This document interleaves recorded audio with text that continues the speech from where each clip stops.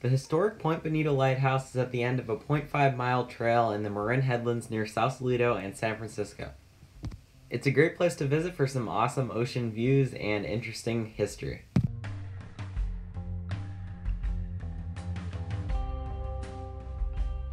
The Point Bonita Lighthouse is in the Marin Headlands, which can be easily accessed from Sausalito, and then after getting to the trailhead, you'll only have to walk about 0.5 miles downhill to get to the lighthouse. You can walk most of the trail at any time, but the lighthouse is only open from 9:30 in the morning to 3:30 p.m. on Thursday through Monday.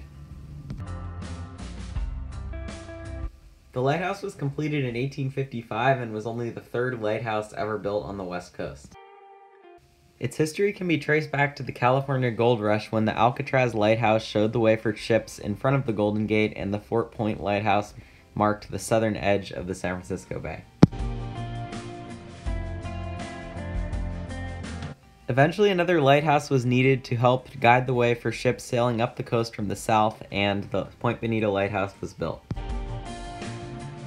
Even though the original part of the lighthouse was built in 1855, it was actually at a different site and then was moved to this site at Point Bonita in 1877, and a new part of the structure was built to support the original half.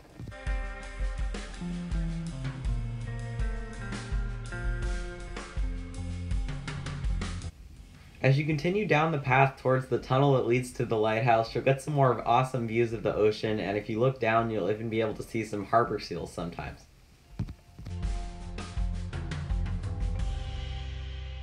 It's also an awesome place to get some views of flocks of pelicans passing by.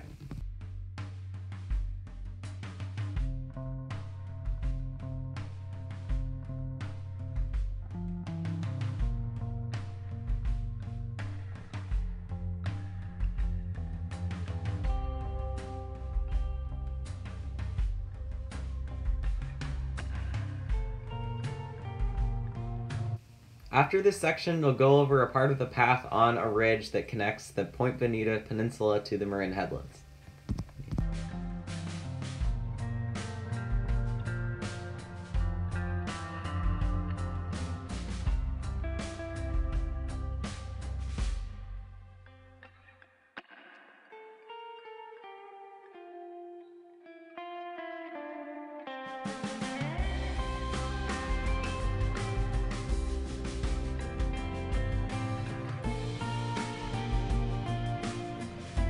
On this last section of the path before the tunnel, you'll get some awesome wide views of the San Francisco Bay and the Golden Gate Bridge in the distance.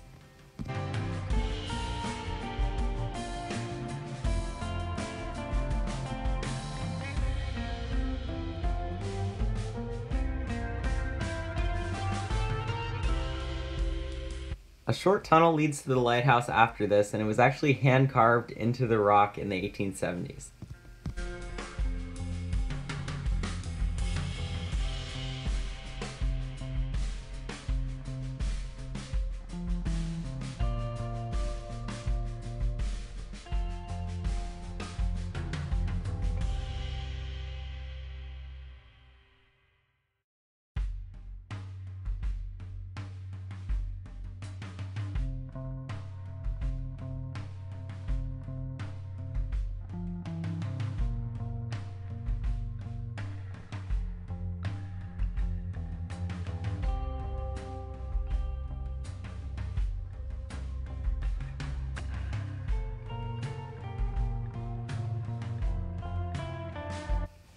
After this point, you'll have to go over a short suspension bridge to the lighthouse, which is a really cool experience as you're actually over 100 feet over the ocean below.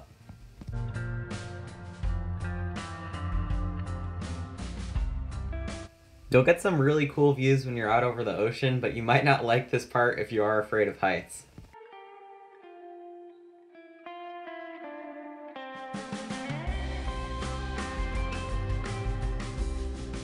Since it's almost always windy over the ocean here, you'll probably feel the bridge swaying slightly under you as you walk across it.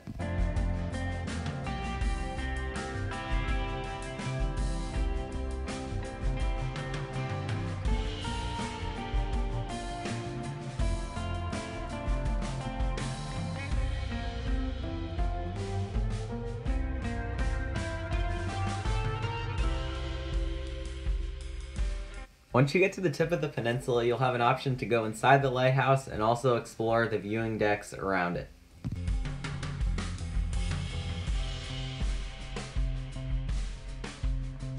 By walking around the outside of the lighthouse, you can get amazing 360 degree views of the coast, the open ocean, and the San Francisco Bay.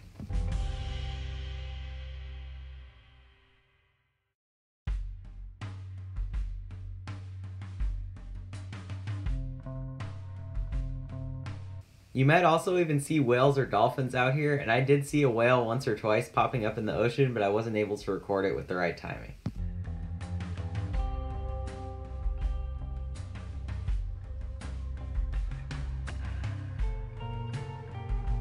Once you go inside the lighthouse, you'll be able to see its cool old architecture as well as some more interesting facts on its history.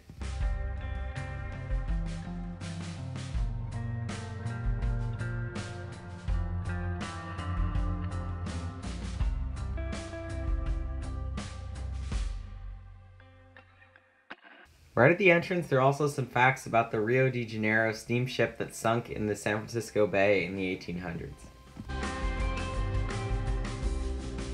This is meant to show that even though the lighthouses were effective at preventing some disasters, they weren't always perfect due to thick fog. Right in the next room, there's an exhibit on the history of the light sources used in the Point Bonita Lighthouse, starting with the whale oil lamp in the 1850s. Then from 1870 to 1913, a kerosene wick lamp was used before it was converted to an incandescent oil vapor mantle lamp in 1913.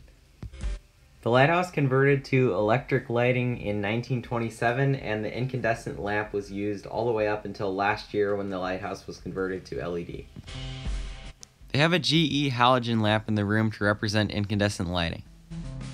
Another interesting part of the lamp room at the Point Bonita Lighthouse is the Fresnel glass lens. It was invented in 1822 and uses ground glass prisms arranged in rings around the lamp to bend 70% of the outgoing light to focus it horizontally.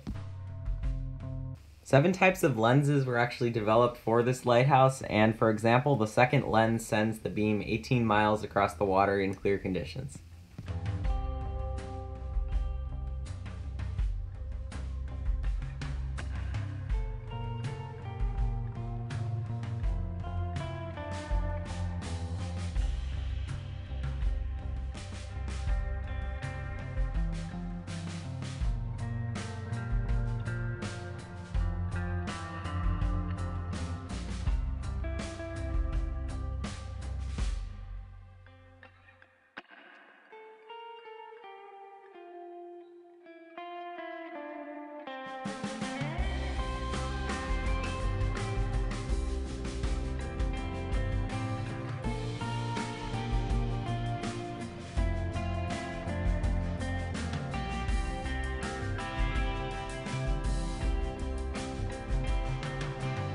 So that's the end of this video on the Point Bonita Lighthouse. Thanks for watching.